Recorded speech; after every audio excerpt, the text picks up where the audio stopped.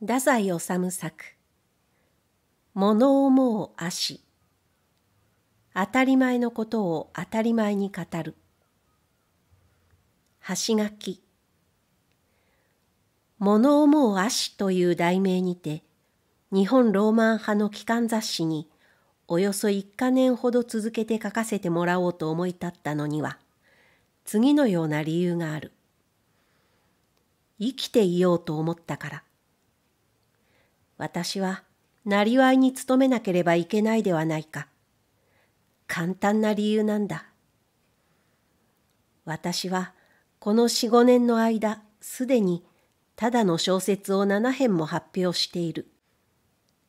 ただとは無線の意である。けれどもこの七編はそれぞれ私の生涯の小説の見本の役目を成した。発表の当時こそ命かけての意気込みもあったのであるが結果からしてみると私はただジャーナリズムに7編の見本を提出したに過ぎないということになったようである。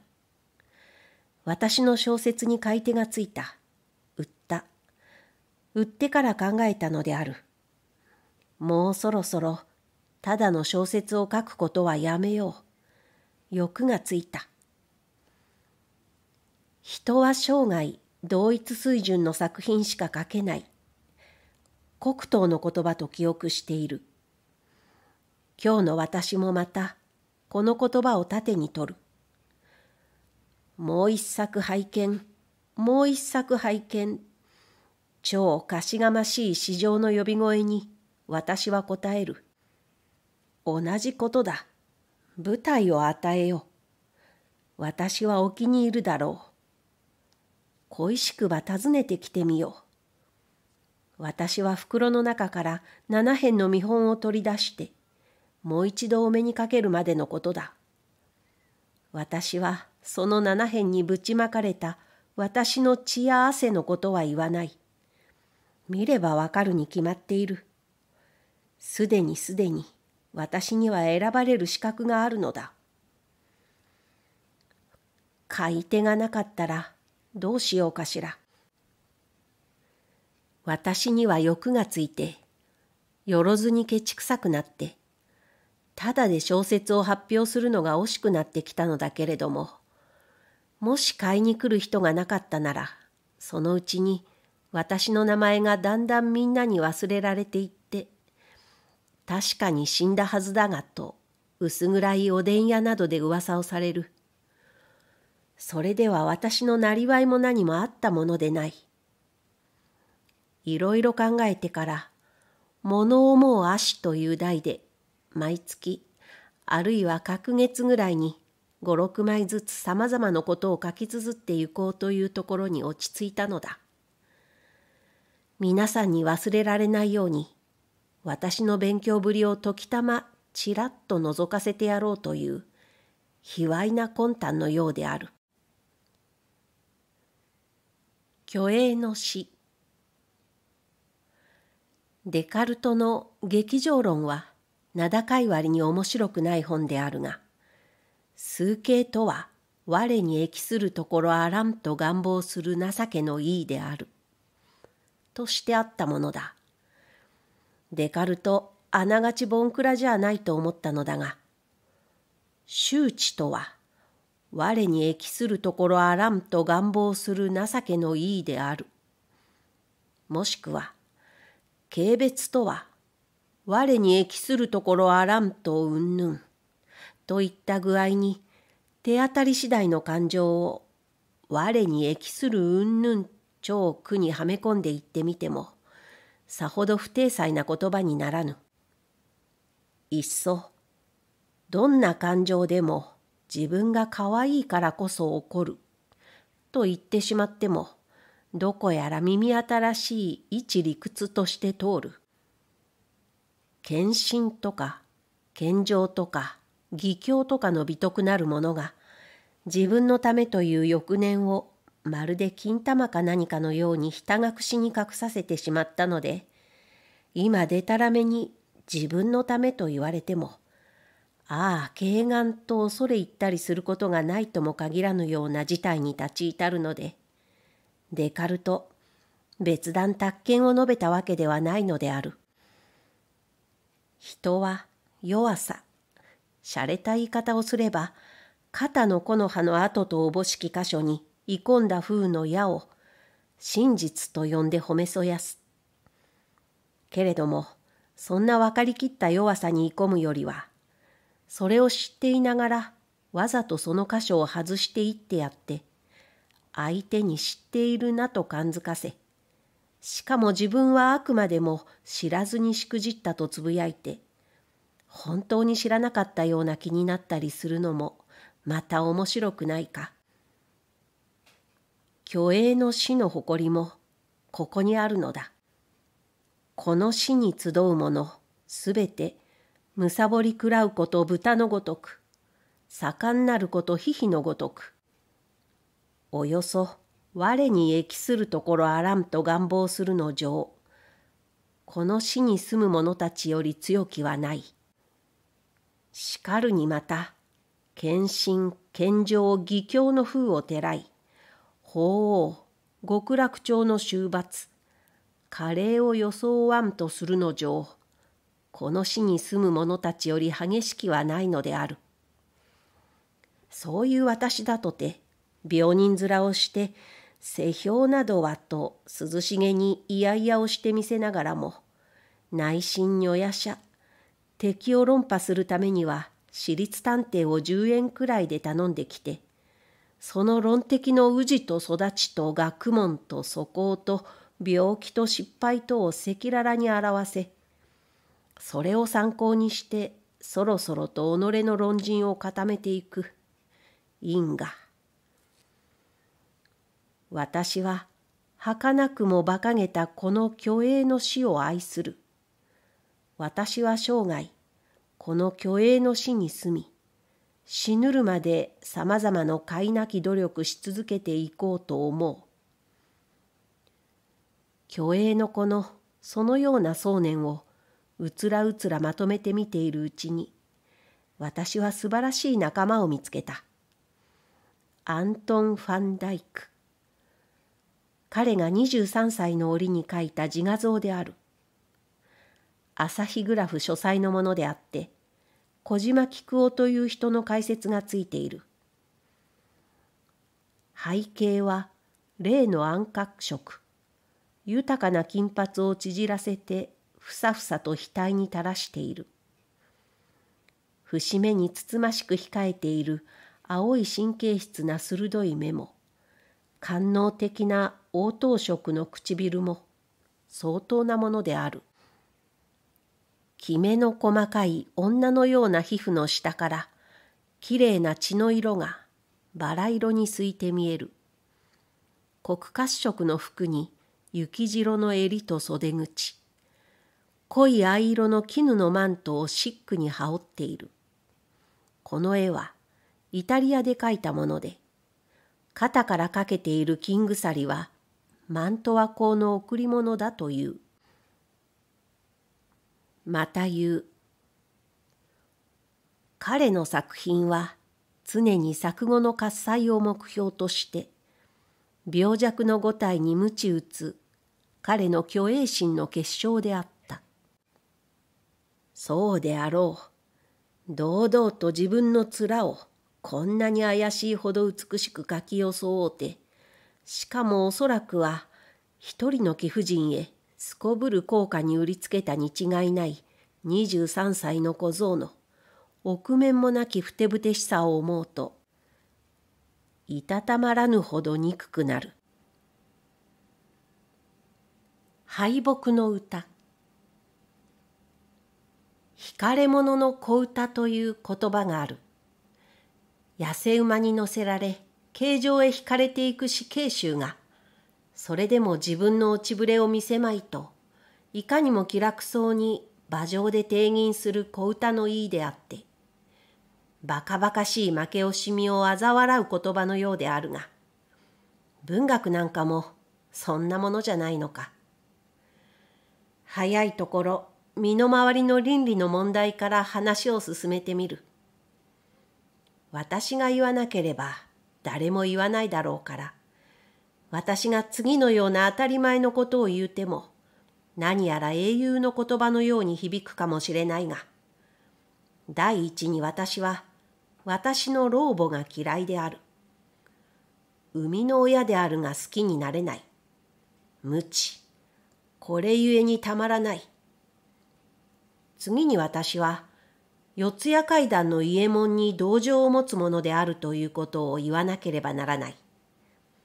まったく女房の髪が抜け、顔一面腫れ上がって海が流れ、おまけに鎮馬。それで朝から晩までメソメソ泣き疲れていた日には、伊右衛門でなくても、蚊帳を七に入れて遊びに出かけたくなるだろうと思う。次に私は、友情と金銭の相互関係について、次に私は、師弟の挨拶について、次に私は兵隊について、いくらでも言えるのであるが、今すぐ牢へ入れられるのはやはり嫌であるから、この辺でよす。つまり私には良心がないということを言いたいのである。初めからそんなものはなかった。弁営への恐怖。言い換えれば、世の中からつまはじきされはせぬかという懸念。牢屋への憎悪。そんなものを人は良心の呵責と呼んで落ち着いているようである。自己保存の本能なら馬車馬にも番犬にもある。けれどもこんな日常倫理の上の分かりきったでたらめを知らん顔して踏襲していくのがまた世の中の懐かしいところ。決起に流行ってバカな真似をするなよと同宿のサラリーマンが私をいさめた。いや、と私は気を取り直して心の中でつぶやく。僕は新しい倫理を樹立するのだ。美と英知とを基準にした新しい倫理を作るのだ。美しいもの、霊理なるものはすべて正しい。衆と愚鈍とは死刑である。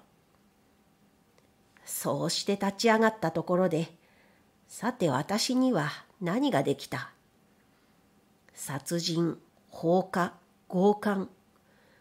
身を震わせてそれらへ憧れても何一つできなかった。立ち上がって尻餅ついた。サラリーマンはまた現れて、定年と怠惰の良さを説く。姉は母の心配を思えと愚劣極まる手紙をよこす。そろそろと私の狂乱が始まる。何でもよい。人のやるなということを計算なく行う。キリキリ待って待って舞い狂って、果ては自殺と入院である。そうして私の小歌もこの直後から始まるようである。惹かれ者、身は痩せ馬に委ねて、のんきに鼻歌を歌う。私は神のまま子。物事を未解決のままで神の祭壇に任せることを嫌う。何もかも自分で割り切ってしまいたい。神は何一つ私に手伝わなかった。私は霊感を信じない。知性の職人、会議の名人。わざと下手くそに書いてみたり、わざと面白くなく書いてみたり、神を恐れぬよるべなき子。分かりきっているほど分かっているのだ。ああ、ここから見下ろすと、みんな愚かで薄汚い。などとにぎやかなことであるが、おや、形状はすぐもうそこに見えている。そうしてこの男も、想像しつつ痛ましく勇ましく没落していくに違いないとザラツストラがのこのこ出てきていらざる注釈を一言付け加えた。ある実験報告。人は人に影響を与えることもできずまた人から影響を受けることもできない。老年人に勧められて家電書を読む。三十四五歳この頃の脳盛りの極めなり。ここにてこの上々を極め悟りて官能になれば定めて天下に許され名簿を得つべし。もしこの自分に天下の許されも不足に名簿も思うほどなくはいかなる上手なりともいまだ誠の花を極めぬしてと知るべし。もし極めずは四十より脳は下がるべし。それ後の証拠なるべし。去るほどに上がるは三十四五までの頃。下がるは四十以来なり。返す返すこの頃天下の許されを得ずは脳を極めたりと思うべからずうんぬん。また言う。四十四五この頃よりの手立て大方変わるべし。たとえ天下に許され脳に特報したりともそれにつけても良き脇のしてを持つべし。脳は下がらねども力なくようようとしたけゆけば実の花もよそめの花も失するなり。まず優れたる美男は知らず良きほどの人もひた面の猿学は年より手は見えぬものなり。去るほどにこの一方は欠けたりこの頃よりはさのみに細かなるものまねをばすまじきなり。大方に焼いたる風景をやすやすと骨を折らで脇のしてに花を持たせて愛しらいのように少な少なとすべし。たとえ脇のしてなからんにつけてもいよいよ細かに身を砕く脳をばすまじきなり。うんぬん。また言う。五十猶予。この頃よりは大方千ならでは手立てあるまじ。キリンもおいてはドバに劣ると申すことあり。うんぬん。次は当村の言葉である。芭蕉は51で死んだ。中略。これには私は驚かされた。老人だ老人だと少年時代から思い込んでいた芭蕉に対する自分の考え方を変えなければならなくなってきた。中略。四十くらいの時に芭蕉はもう沖縄という気分でいたんだね、と馬場君も言っていた。中略。とにかく私の心の驚きは今日まで自分の胸に描いてきた芭蕉の心象を10年も20年も若くした。うんぬん。露伴の文章がどうのこうのとこの頃やかましく言われているけれども、それは露伴の五重の塔や一行剣など、昔の花品を読まない人の言うことではないのか。玉勝間にも以下の文章あり。今の世の人、神のお社は寂しく物錆びたるを尊しと思うは、いにしえの神社の盛りなりし世の様をば知らずして、ただ今の世に大方古く尊き神社どもは意味軸も衰えて荒れたるを見慣れて古く尊き神社はもとより核あるものと心得たるからの日がごとなりけれども私は老人について感心したことが一つある。黄昏の銭湯の流し場の隅で一人こそこそやっている老人があった。見ると粗末な日本カミソリで髭を剃っているのだ。鏡もなしに薄暗闇の中で落ち着き払ってやっているのだ。あの時だけはうなるほど感心した。何千回何万回という経験がこの老人に鏡なしで手探りで顔のひげを楽々と剃ることを教えたのだ。こういう具合の経験の体積には私たち逆立ちしたって負けである。そう思って以後気をつけていると私の家主の六十猶予のじいもまた何でもものを知っている。植木を植え替える季節は梅雨時に限るとかアリを退治するのにはこうすればよいとかなかなか博識である。私たちより40も多く夏に会い40回も多く花見をしとにかく40回もその用も多くの春と夏と秋と冬とを見てきたのだ。けれどもこと芸術に関してはそうはいかない。天三年棒十年などというやや悲壮な修行の掟は昔の職人の無知な英雄主義に過ぎない。鉄は赤く熱しているうちに打つべきである。花は満開のうちに眺むべきである。私は万世の芸術というものを否定している。難解はじめに言葉あり、言葉は神と共にあり、言葉は神なりき。この言葉は大書に神と共にあり、よろずのもの、これによりてなり、なりたるものに一つとしてこれによらでなりたるはなし。これに命あり。この命は人の光なりき。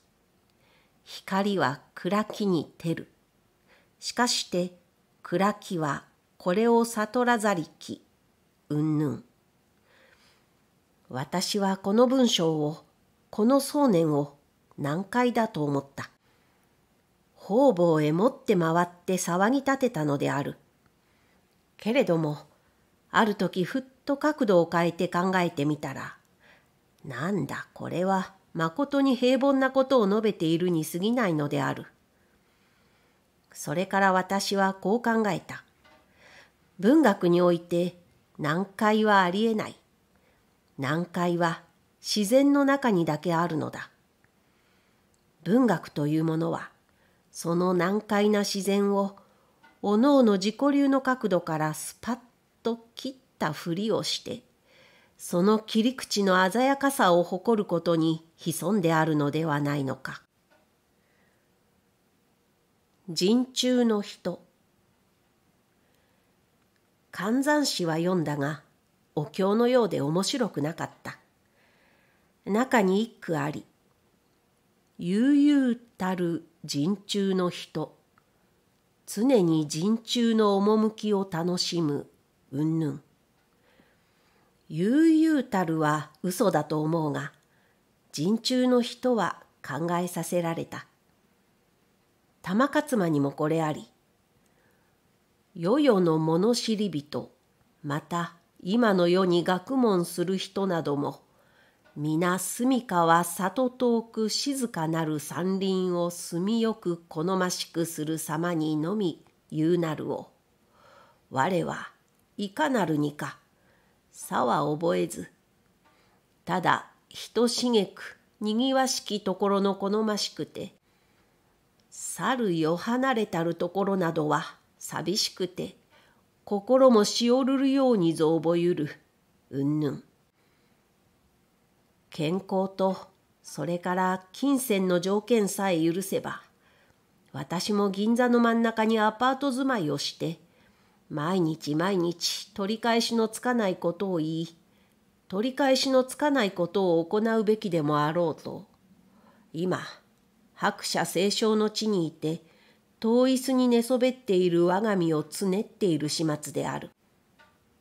墨がたき世を人一倍に痛感し、誠に受難のことも呼ぶにふさわしい。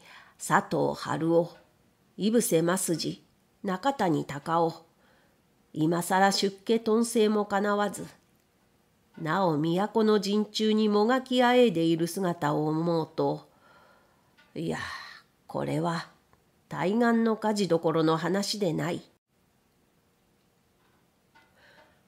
の作品の良し悪しを人に尋ねることについて。自分の作品の良し悪しは自分が最もよく知っている。千に一つでも己によしと許した作品があったならば幸いこれに過ぎたるはないのである。おのおのよくその胸に聞きたまえ。書簡集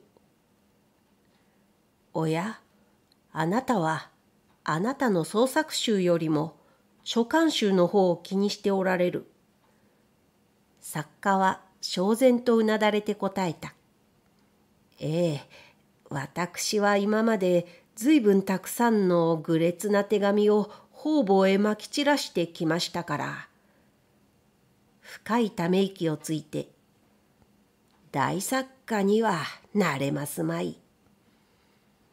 これは笑い話ではない。私は不思議でならないのだ。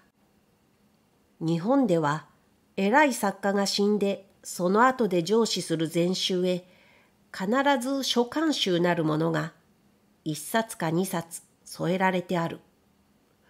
書簡の方が作品よりずっと多量な禅宗さえあったような気がするけれど、そんなのにはまた特殊な事情があったのかもしれない。作家の書簡、手帳の破片、それから作家御10歳の折の文章、自由が、私にはすべてくだらない。古作家と生前特に信仰あり、今その作家を追慕するのあまり、彼の戯れに物した絵集一巻、上司して、内輪の友人親戚間に分けてやるなど、これはまた自ら別である。赤の他人のかれこれ妖怪すべき事柄でない。私は一読者の立場として、例えばチェーホフの読者として、彼の書簡集から何一つ発見しなかった。私には彼の作品「かもめの中の鳥合林の独白を書簡集のあちこちの隅からかすかに聴取できただけのことであった。読者あるいは書作家の書簡集を読み、そこに作家の不用意極まる素顔を発見したつもりで、とくとしているかもしれないが、彼らがそこで意味軸もつかまされたものは、この作家もまた一日に三度三度の飯を食べた。あの作家もまた傍事を好んだ。とうとうの平俗な生活記録に過ぎない。すでに分かりきったことである。それこそ言うさえ野暮な話である。それにもかかわらず、読者は一度掴んだ鬼の首を離そうともせず、ゲーテはどうも梅毒らしい。プルーストだって出版屋には参拝休杯だったじゃないか。胡蝶と一葉とはどれくらいの仲だったのかしら。そうして作家が命を込めた作品集は文学の初歩的なるものとしてこれを軽んじ、もっぱら日記や書簡集だけを漁り回るのである。いわく、章を陰と欲せば馬をいよ。文学論はさらに聞かれず、行くところ行くところ、すべて人物月誕華やかである。作家たる者、またこの現象を目視し得ず、作品は二の次、もっぱら己の書簡集作成に忙しく、十年来の親友に送る書簡にも、袴をつけ扇子を持って、一字一句、活字になった時の字面の効果を考慮し、他人が覗いて読んでもわかるよう文章にいちいちいらざる注釈を書き加えてその煩わしさ。ために作品らしき作品一つも書けず、いたずらに手紙上手の名のみ高い。そういう人さえ出てくるわけではないか。書簡集に用いるお金があったなら、作品集をいよいよ立派に想定するがいい。発表されると予期しているような、また予期していないようなあやふやな書簡、および日記。カエルをつかまされたようで気持ちが良くないのである。いっそどちらかに決めた方がまだしもよい。かつて私は書簡もなければ日記もない詩十編ぐらいに訳詩十編ぐらいのいい遺作集を愛読したことがある。富永太郎という人のものであるが、あの中の詩二編、訳詩一編は、今でも私の暗い胸の中に火を灯す。唯一無二のもの、普及のもの。書簡集の中には絶対にないもの。標法文章の中のここの箇所は切り捨てたらよいものかそれともこのままの方が良いものか途方に暮れた場合には必ずその箇所を切り捨てなければいけない。言わんやその箇所に何か書き加えるなどもってのほかと言うべきであろう。In a word 久保田万太郎か小島誠二郎か誰かの文章の中で確かに読んだことがあるような気がするのだけれどもあるいはこれは私の思い違いかもしれない芥川龍之介が論戦中によく「つまり?」という問いを連発して論敵を悩ましたものだという解雇談なのだ。久保満か小島氏か一切忘れてしまったけれども、とにかくひどくのんびり語っていた。これには私たち、ほとほと並行いたしましたもので、というような口調であった。伊豆くんぞ知らん。芥川はこのつまりをつかみたくて、血眼になって追いかけ追いかけ、果ては看護婦、子守娘にさえやすやすとできる毒薬自殺をしてしまった。かつての私もまた、このつまりを追求するに急であった。踏ん切りが欲しかった。道草を食う楽しさを知らなかった。循環小数の奇妙を知らなかった。動かざる苦音の真理を今すぐこの手でつかみたかった。つまりはもっと勉強しなくちゃいかんということさ。お互いに。鉄証、議論の挙句の果ては、ごろんと寝転がって、そう言って二人嘘吹く。それが結論である。それでいいのだと、この頃思う。私は大変な問題に足を踏み入れてしまったようである。はじめはこんなことを言うつもりじゃなかった。In a word という章題で世人シェストフを願物の一言で言い切り横光リーチをドバの二次で片付け会議説の矛盾をわずか数語でもって指摘し去りジッドの小説は二流なりと一刀のもとにほふり日本ローマン派は苦労知らずと蹴って落ち着き甚だしきは読売新聞の壁評論誌のごとく一編の物語私の猿ヶ島を一行の風刺格言に圧縮せむと務めるなどさまざまの殺伐なる様を述べようと思っていたのだが秋空のせいかふっと気が変わって我ながら変なことになってしまった。これは明らかに失敗である。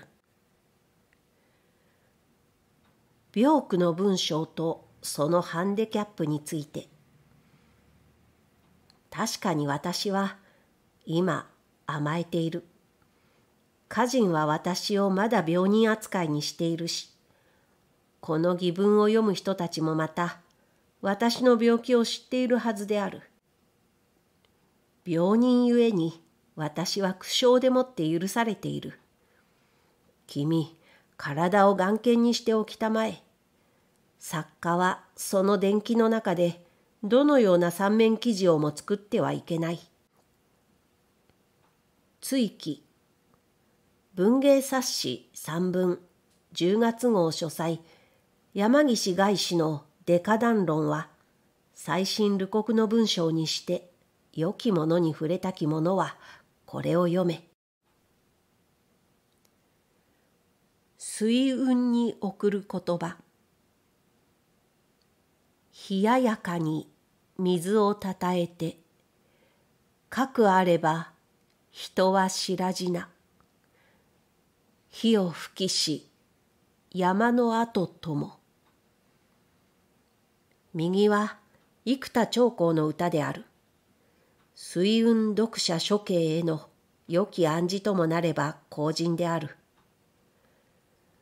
君あと一月寝れば25歳深く自愛しそろそろと道なき道に進むがよいそうして不罰の高き塔を打ち立てその塔をして旅人に向かい百年の地までここに男ありてと必ず必ず物語らせるがよい。私の今宵のこの言葉を君このまま素直に受けたまえ。ダスゲマイネについて。今より丸2年ほど前ケーベル先生のシルレル論を読みいな読まされ。シルレルはその作品において人の性よりしてダスゲマイネ卑俗を駆逐しウールシュタンド。本然の状態に帰らせた。そこにこそ誠の自由が生まれた。そんな書論を見つけたわけだ。ケーベル先生はかの清らなる顔をして、私たちなかなかにこのダスゲマイネという霊地から足を抜けないもので、と嘆じていた。私もまた軽いため息を漏らした。ダスゲマイネ、ダスゲマイネ。この想念の悲しさが私の頭の一遇にこびりついて離れなかった。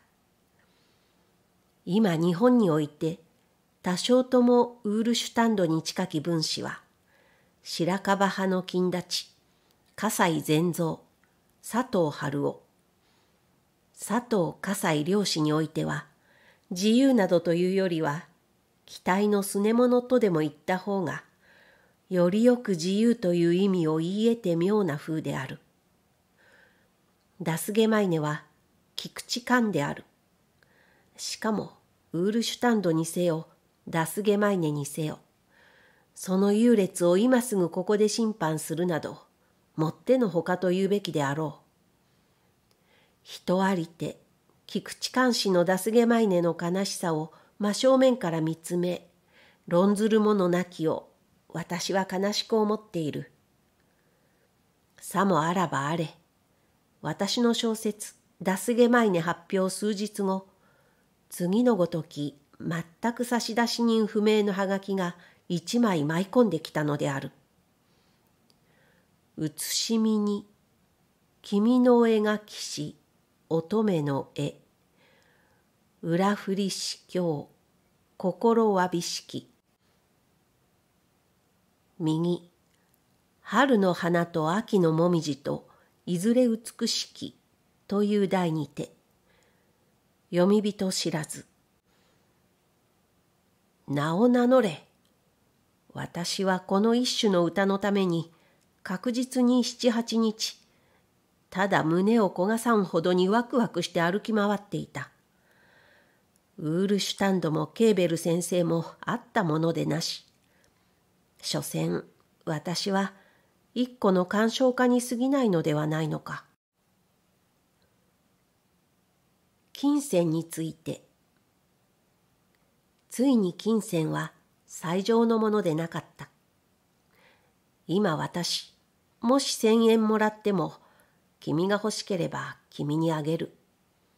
残っているものは、青空のごとき太古の姿とどめたる、汚れなき愛情と、それから、最も告白にして、最も気長なる復讐心。方針について、神羅万象の美に切りまくられ踏みつけられ舌を焼いたり胸を焦がしたり男一人よろめきつつもあるよふと。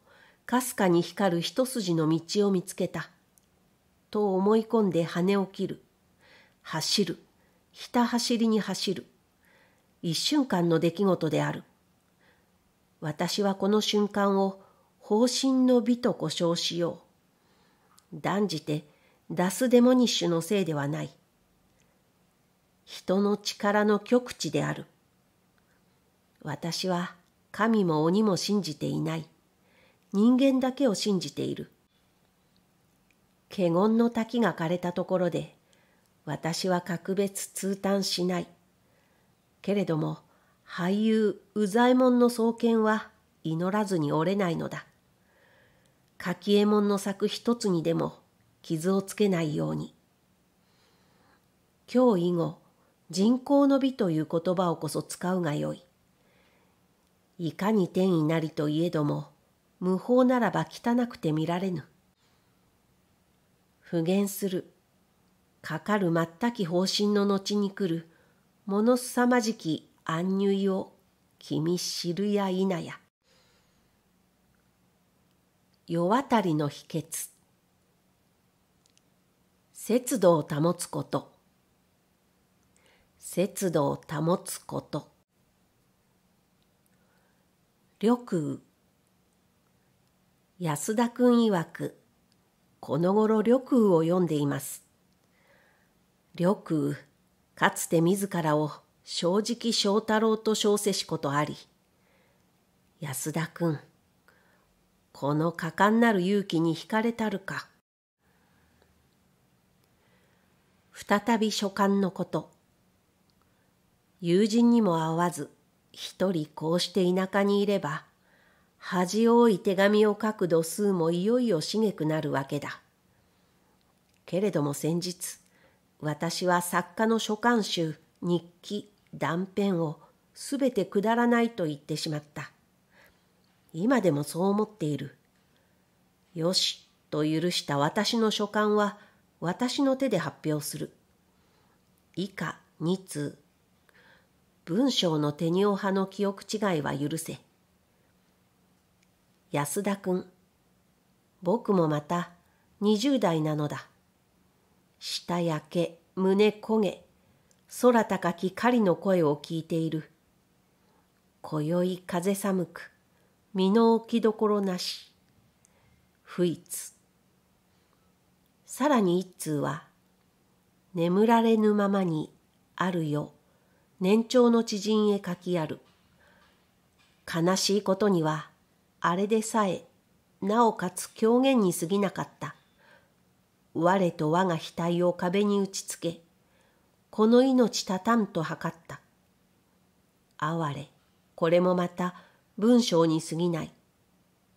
君、僕は覚悟している。僕の芸術は、おもちゃの持つ美しさと寸分異なるところがないということを、あのでんでん太鼓の美しさと、一行開けて、ホトトギス、今和の際の一声は、死ぬるとも高原霊食であれ。このほか三通気にかかっている書簡があるのだけれど、それらについては後日また機会もあろう。ないかもしれぬ。追記文芸冊子誹謗第六号書斎出刀秀光の空吹く風は見どころある作品なり、その文章駆使にあたって今一層密かに原告なるところあったなら、さらに申し分なかったろうものを。わがままということ。文学のためにわがままをするというのはいいことだ。社会的には20円30円のわがまま。それをさえできず、今更何の文学ぞや。百花繚乱主義福本和夫大震災首相暗殺その他めちゃめちゃのこと数千私は少年期青年期にいわば見るべからざるものを見この目で見てこの耳で聞いてしまった27、8歳を限度としてそれより若い青年、すべて口に言われぬ人知れない苦しみをなめているのだ。この身をどこに置くべきか、それさえ自分に分かっておらぬ。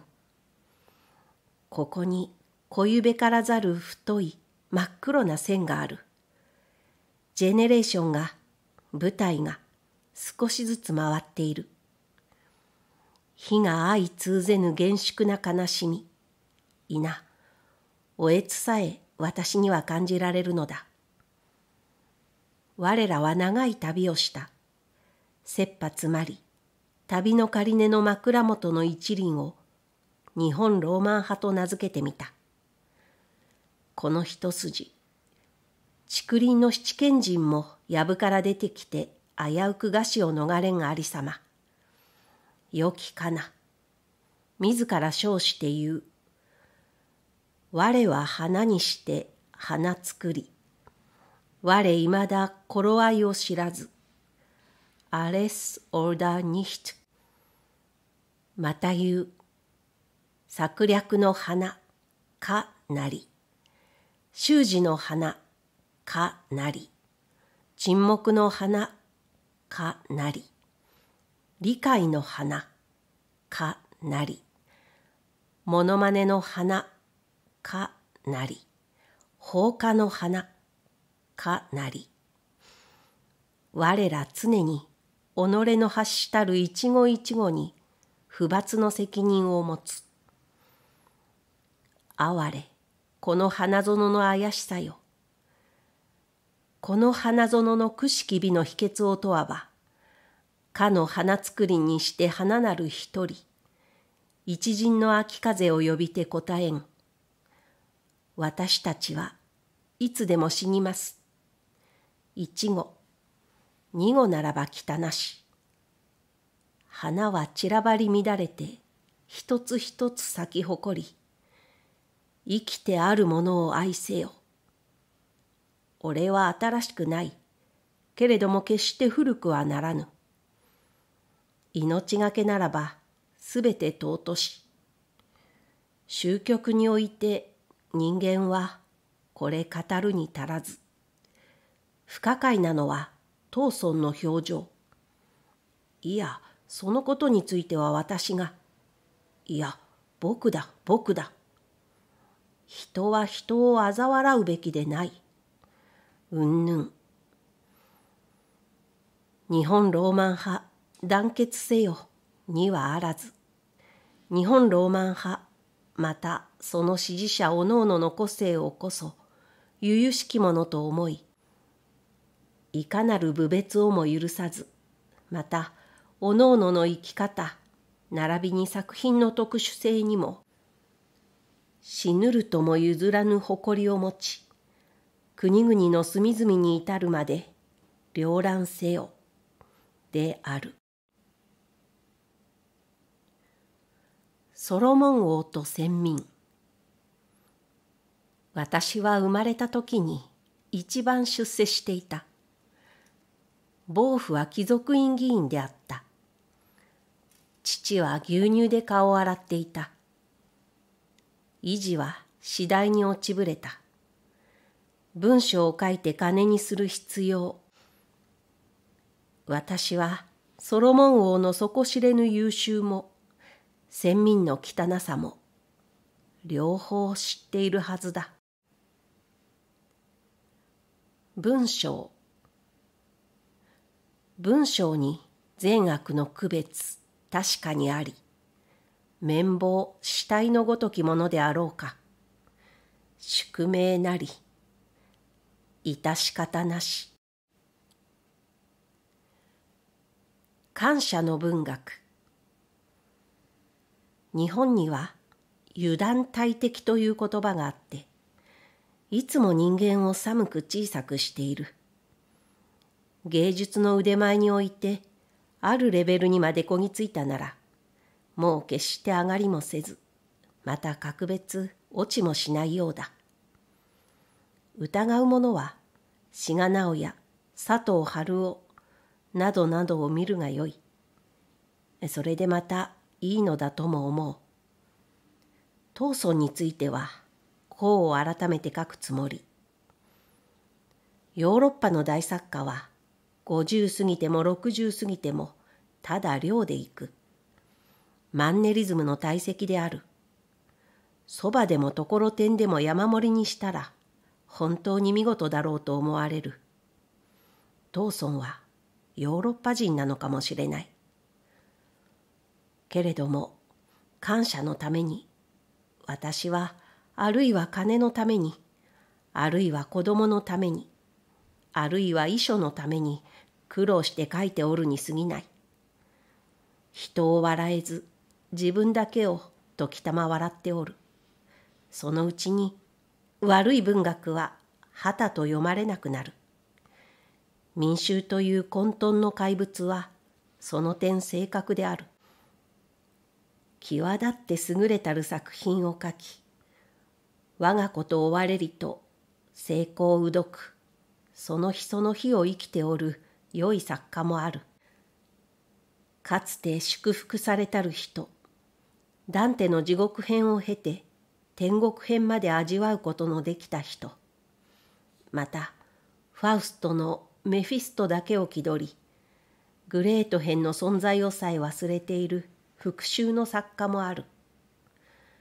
私にはどちらとも審判できないのであるがこれだけは言える。窓開く。好人物の夫婦。出世。みかん春。結婚まで。恋。明日なろう。などなど。生きていることへの感謝の念でいっぱいの小説こそ。不滅のものを持っている。審判。人を審判する場合それは自分に屍を神を感じている時だ。無権な楽。押せども引けども動かぬ扉がこの世の中にある。地獄の門をさえ冷然とくぐったダンテもこの扉については語るを避けた。余談ここには鴎外と漱石という題にて鴎外の作品なかなか正当に評価せられざるに反し俗中の俗夏目漱石の全集いよいよ華やかなる世情涙いずるほど悔しく思い参考のノートや本を調べたけれども牧灰の気折れしてものにならずこの世一睡もせず朝になりようやく解決を得たり解決に曰く時間の問題さ。彼ら27歳の冬はうんぬん変に考え詰めるといつもこんな解決なり。いっそ今は記者処刑といろりを囲みジャーナルということの悲しさについて語らんか私は毎朝新聞市場で処刑の署名なき文章並びに写真を見て悲しい気がする。時たま不愉快になることもありこれこそ読み捨てられ見捨てられそれっきりのもののような気がして儚きものを見るものかなと思うのである。けれどもこれが世の中だとささやかれたなら私なるほどとうなずくかもしれぬ気配をさえ感じている。行く水は二度と帰らぬそうだ。生々流転という言葉もある。この世の中に生まれてきたのがそもそも間違いの発端と知るべし。アレス・オダ・ニヒツイプセンの劇より発し少しずつヨーロッパ人の口の葉に上りしこの言葉が流れ流れて今では新聞当選の頼りげなき長編小説の中にまでやすやすと入り込んでいたのをちらと見て私自身長老されたと思い込みむっとなった。私の思念の底の一筋の戦艦たる渓流もまたこの言葉であったのだから。私は小学校の時も中学校の時もクラスの主席であった。高等学校へ入ったら3番に落ちた。私はわざと手段を講じてクラスの最下位にまで落ちた。大学へ入りフランス語が下手で屈辱の予感からほとんど学校へ出なかった。文学においても私は誰の侮りも許すことができなかった。完全に私の敗北を意識したなら私は文学をさえよすことができる。けれども私はある文学賞の候補者として私に一言の通知もなくそうして私が蹴落とされていることまで付け加えて世間に発表された人おのおの不罰の自尊心のほどを思いたまえしかるに受賞者の作品を一読するに及び告白すれば私密かに安堵した私は敗北しなかった。私は書いてゆける。誰にも許さぬ私一人の道を歩いてゆける確信。私、幼くして瞬間国烈なる暴風、並びに長兄に叩き上げられ、私もまた人間として少し顔面なるところあり、文学においては絶対に利己的なるダンディズムを報じ、十年来の親友をもみだりに許さず。死してなお旗を右手に歯ぎしりしつつ巷をよろばい歩く我が身の必要なる業をも感じているのだ。一丁生活にこと破れ万事休したる挙句の果てには耳をつんざく音とともに我が身は堺雅人と同じく文芸砲弾どころか文芸噴弾という雑誌を身のなりわいとして石にかじりついても生き延びていくやもしれぬ。秀才、狭間寛一。勉学を廃止して豊かな金貸し業を志したというテーマは、これは今の数々の新聞小説よりも一層切実なる世の中の断面を見せてくれる。私、今自ら進んで君が悲しきわらばんしに我が心臓をつかみ出したる詩を知るさん。私、めったの人には断じて見せなかった未発表の大事の詩一編。不言する。我わらばんしのゆえにのみ記すなりと思うな。原稿用紙二枚に走り書きしたる君のお手紙を読み、いわばくずかごの中の蜂巣を確実に感じたからである。君もまたクライストの苦しみを苦しみ、凋落のボードレールの死体に胸を焼き、焦がれ、確かに私と甲をつなき、一二の花品書きたることあるべしと推量したからである。ただし私、書くこと、この度一回に限る。私どんな人でも慣れ合うことは嫌だ。因が射的を好む。頭でっかちの弟。兄はいつでも命をあげる。足の次回その一ただ世の中にのみ目を向けよ。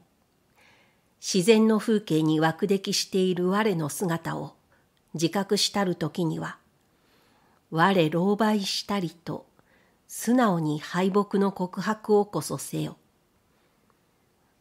その二、同じ言葉を必ず二度蒸し返して口の葉に出さぬこと。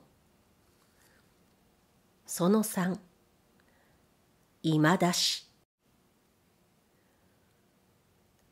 感想について。感想なんて。丸い卵も切りよう一つで立派な四角形になるじゃないか。節目がちのおちょぼ口を装うこともできるし。たった今高間ヶ原からやってきた原始人そのままの素朴の真似もできるのだ。私にとってただ一つ確実なるものは私自身の肉体である。こうして寝ていて十子を見る。動く。右手の人差し指。動く。左手の小指。これも動く。これをしばらく見つめていると、ああ、私は本当だ、と思う。他は皆、何でも一切知事にちぎれ飛ぶ雲の思いで生きているのか死んでいるのかそれさえ分明しないのだ。よくもよくも乾燥だなぞと。遠くからこの状態を眺めている男一人ありて曰く。大変簡単である。自尊心これ一つである。スラダにも。金海集をお読みの人は知っておられるだろうが実朝の歌の中に「スラダにも」なる一句があった。前後はしかと覚えておらぬが「哀れけだものスラダにもうんぬん」というような歌であった。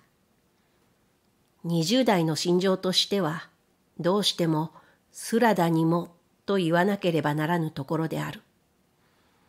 ここまで努めて、スラダにもと口に出したくなってくるではないか。実朝を知ること最も深かった馬淵。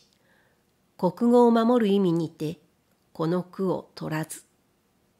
今になりては、いずれも良きことをしたと思うだけで、格別馬淵を恨まない。自願。自願というのは冒険の遺作。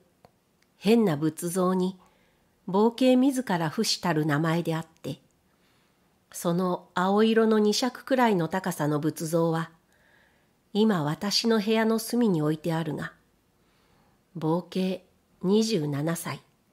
最後の作品である28歳の夏に死んだのだからそういえば私、今27歳。しかも冒険の形見のネズミ色の島の着物を着て寝ている。二三年前、罪なき者を殴り、蹴散らかして、馬のごとく巷を走り狂い、今もなお、時たま余人爆発して、取り返しのつかぬことをしてしまうのである。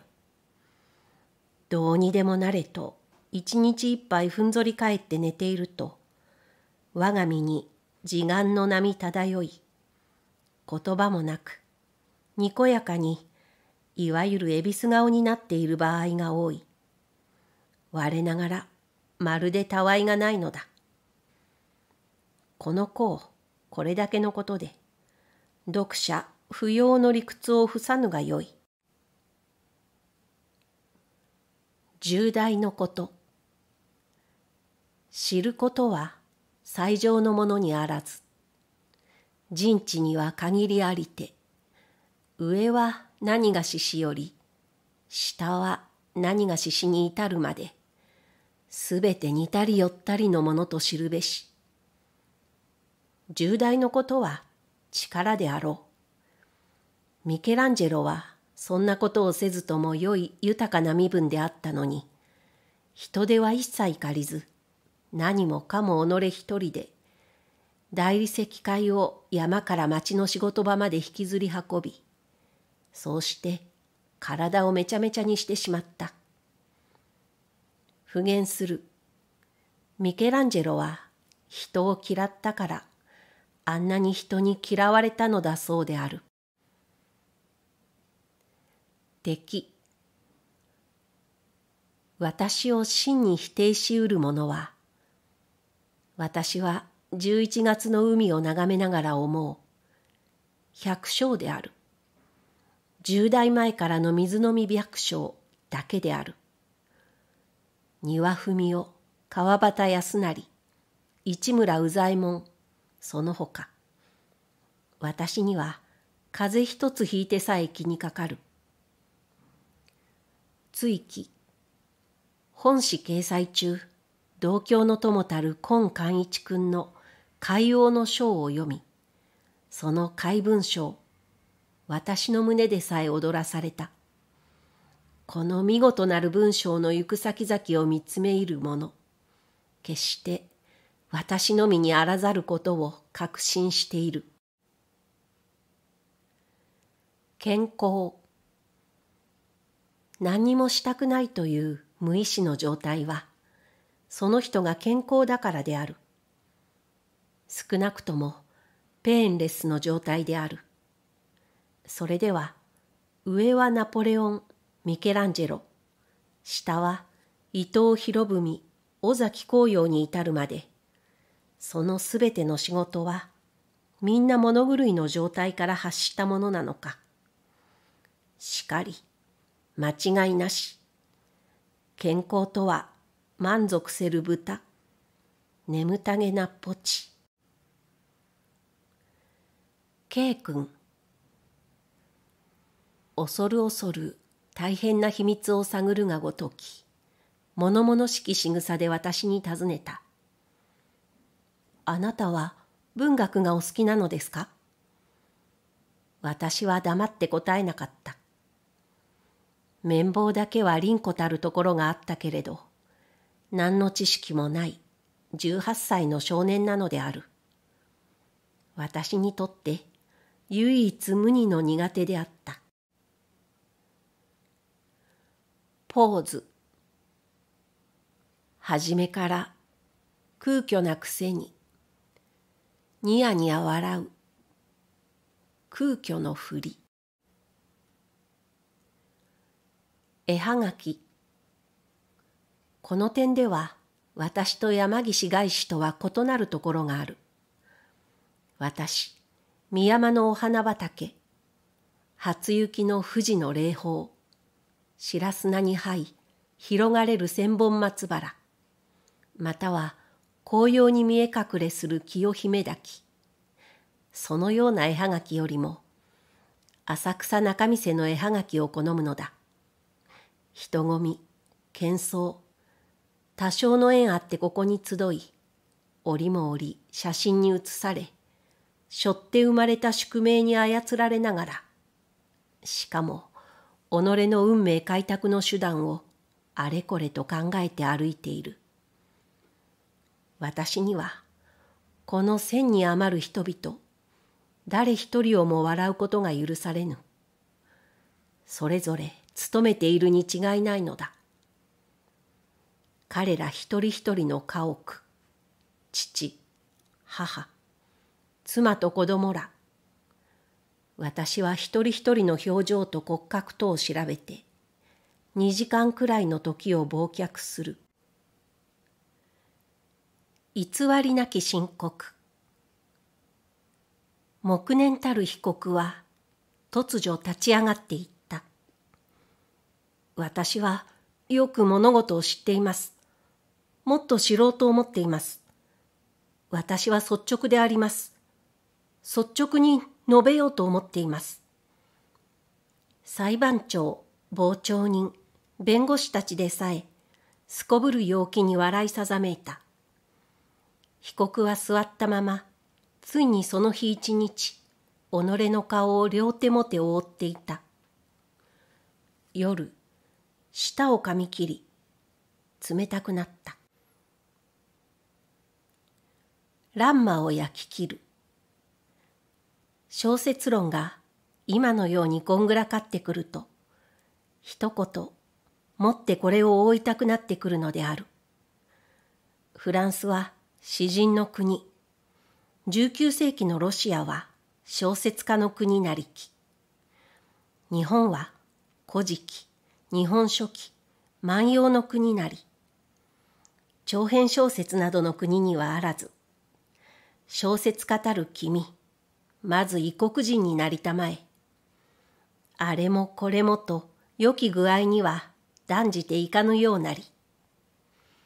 君の兄たり友たり得るもの、プーシキン、レールモントフ、ゴーゴリ、トルストイ、ドストエフスキー、アンドレーフ、チェホフ。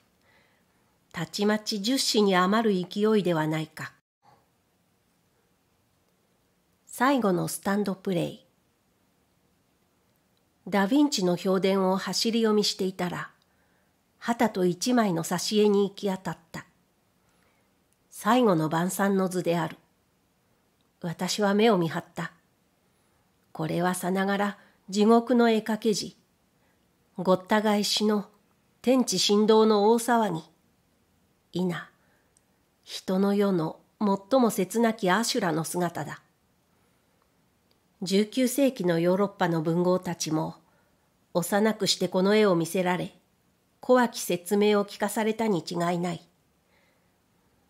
我を売る者、このうちに一人あり。キリストはそうつぶやいて、彼の一切の希望をさらっと捨て去った。刹那の姿を巧みに捉えた。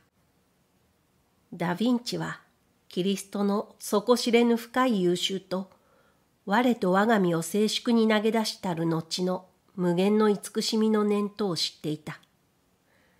そうしてまた、十二の使徒のそれぞれの利己的なる数形の念をも失地していた。よし、これを一つ、日本ローマン派の同人処刑に頼んで芝居をしてもらおう。静観無比の表情を装い、残人残馬の身振りを示しているペテロは誰？己の潔白を証明することにのみ急なる体のフィリッポスは誰？ただひたすらに慌てふためいているヤコブは誰？キリストの胸の御前に眠るがごとくうなだれているこの小鳩のように優美なるヨハネは誰？そうして最後に悲しみ極まりて帰ってほのかに明るき顔のキリストは誰？山岸あるいは自ら進んでキリストの役を買って出そうであるが果たしてどういうものであるか。中谷隆夫なる良き青年の存在をも夢忘れてはならないし、その上、日本ローマン派という目なき耳なき混沌の怪物まで控えている。ユダ。左手もて何やらん恐ろしきものを防ぎ、右手もて失火と勤労をつかんでいる。君、その役をどうか私に譲ってもらいたい。私、日本ローマン派を愛すること、最も深く、またこれを憎悪するの念、最も高きものがありますゆえ。冷酷ということについて、原告と冷酷とは、すでにその根源において相違っているものである。原告その奥底には人間の本年の温かい思いやりでいっぱいであるのだが、冷酷は茶ちなガラスの器物のごときもので、ここにはいかなる花一つ咲き入れず、まるで縁なきものである。我が悲しみ。夜道を歩いていると、草むらの中で傘と音がする。マムシの逃げる音。文章について。文詩というからには、文に巧みなるところなくてはかなうまい。良き文章とは、情こもりて言葉のび、心のままの誠を歌い入れたる体のものを指して言うなり。情こもりてうんぬんは上田瓶若き頃の文章である。ふと思う。なんだ。みんな同じことを言っていやがる。わいこ。そのささやきには紳士の響きがこもっていた。たった二度だけ。その世は私を困らせた。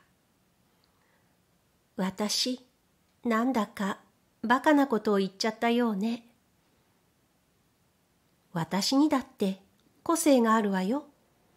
でも、あんなに言われたら黙っているより他にしようがないじゃないの。言葉の奇妙。舌もつれる。舌の根を震わす。舌を巻く。舌そよぐ。漫才。私の言う掛け合い漫才とは、例えば、次のごときものを指して言うのである。問い。君は一体誰に見せようとして紅と金とをつけているのであるか。答え。みんな、様ゆえ、お前ゆえ。へらへら笑って済まされる問答ではないのである。殴るのにさえ手が汚れる。君の中にも。我が神話。飲酒、稲葉の子うさぎ。毛をむしられて海水に浸り、それを天日で乾かした。これは苦痛の始まりである。飲酒、稲葉の子うさぎ。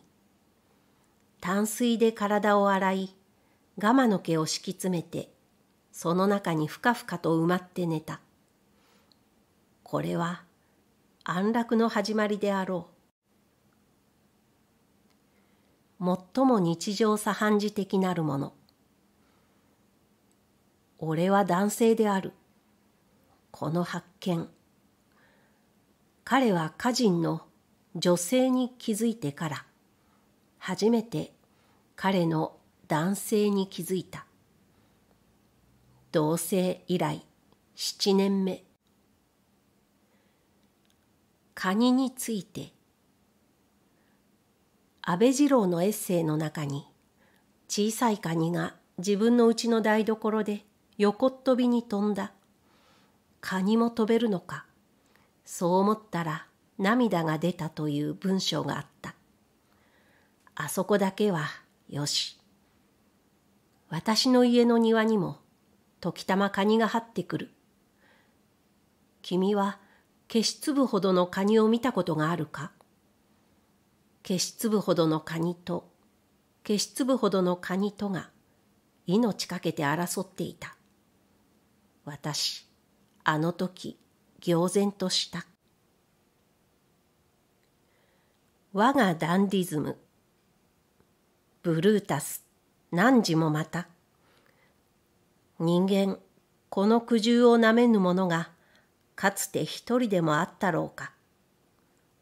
己の最も信頼している者こそ、己の生涯の重大の刹那に、必ず己の面上に汚き石を投ずる。はしと投ずる。先頃、友人、安田与十郎の文章の中から、芭蕉の良き一句を見出した。朝顔や、昼は上おろす、門の柿。なるほど、これに限る。けれども、また、いな、これに限る。これに限る。晩年について。私はこの短編集一冊のために実家年を棒に振った。丸実家年。市民と同じ爽やかな朝飯を食わなかった。私はこの本一冊のために身の置きどころを失い絶えず自尊心を傷つけられて世の中の寒風に吹きまくられそうしてうろうろ歩き回っていた。数万円の金銭を浪費した。長兄の苦労のほどに頭下がる。舌を巻き胸を焦がし我が身を到底回復できぬまでにわざと損じた。百遍に余る小説を破り捨てた。原稿用紙5万枚。そうして残ったのはかろうじてこれだけである。これだけ。原稿用紙600枚に近いのであるが香料全部で六十数円である。けれども私は信じている。この短編集晩年は年々再々いよいよ色濃く君の目に君の胸に浸透していくに違いないということを。私はこの本一冊を作るためにのみ生まれた。今日より後の私は全くの死骸である。私は余生を送っていく。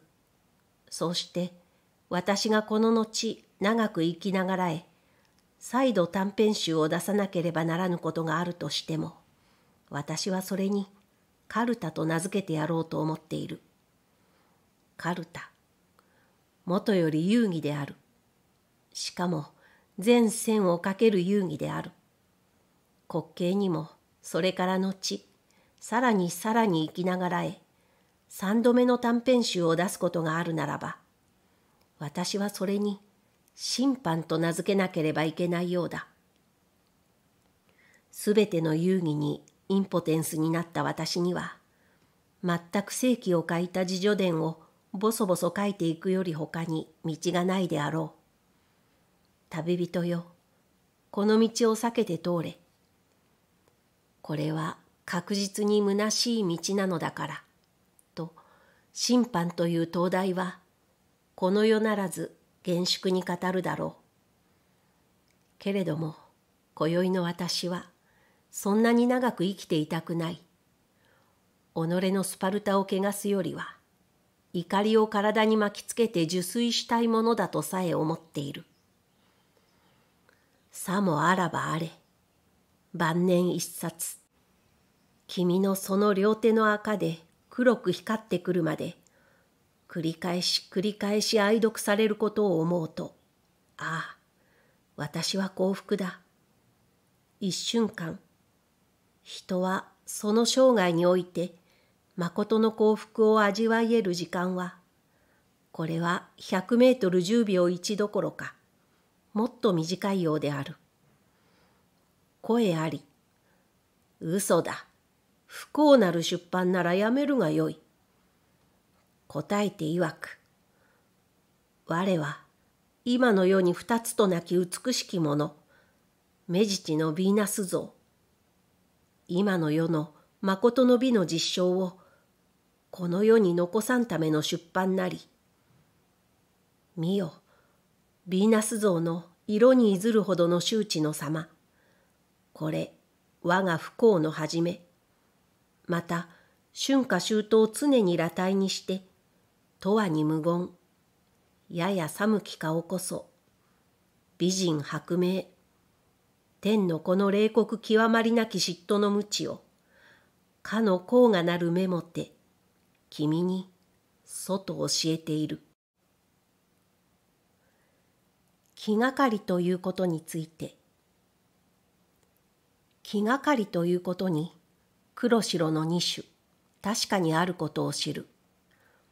なにわ節のごく明日またるる宝船とプーシキンの祝あたしは明日殺される。とは心のときめきにおいては同じようにも思われるだろうが。熟慮半日確然と黒白のごとく分離しあるを知れり。宿題。チェックチャックについて。策略ということについて。言葉の絶対性ということについて。沈黙は金なりということについて。野生と暴力について。ダンディズム小論。贅沢について。出世について。戦望について。原始のセンチメンタリティということについて。その他甚だケチのようなれども。題名を言われぬもの。十七八項目くらい。少しずつノートに書き記していっているのであるが。今文芸雑誌創刊号に何か書くことを勧められ何を書こうかとノートを2冊も3冊も出してあちらを覗きこちらを覗きして夕暮れより朝までかかった。どれもこれも胸にひっからまり具合よくゆかぬ牛乳を飲んで朝の新聞を読んでいるうちに分かった私の心は千里離れた磯にいて波にくるくる舞い狂っていたのである私の初めての本の出版それですべてに合点がついた。宿題。たくまずして砂小屋書房主人山崎豪平氏にバトンをお渡ししなければならなくなった。私の本がどれくらい売れるであろうか。私の本の想定はうまくいくであろうか。潮時とカモメと波の関係。吹き。これは半ば以上私の本の広告のために書いた。私、昭和11年よりは考慮全くなしか。さもなくば小説一枚五円。その他の草草の文章一枚三円と決めた。今年正月号には私の血一滴混じっているとさえ思わせたる編集者の手紙のためあるいは書きますと去年の正月にお約束して以後一年間自ら進んでいよいよ強くお約束してしまいついには物狂いの状態にさえなったがため私を常に柔らかく慰め顔のしかも文意あくまで潔白なる編集部の手紙のためその他、とにかく一度は書かなければならぬ事情ありて、断片の言葉二十枚余り書いた。考慮はすべて私の方から断って書いた。人おのおの、己一人の業務にのみ努めること第一であるが、たまには隣人の悲しくも不罰の自尊心をそ知らぬふりして温めてやりたまえ。